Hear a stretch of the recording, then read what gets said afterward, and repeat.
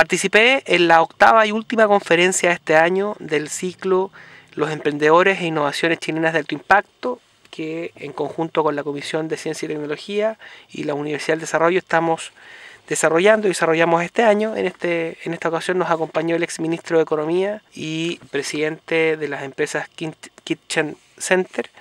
don Félix de Vicente, que nos compartió su punto de vista respecto a cómo emprender e innovar con éxito. Así que fue un interesantísimo encuentro y le agradezco muy especialmente al ex ministro Félix de Vicente haber venido a Concepción a poder compartirnos su vivencia en esta materia.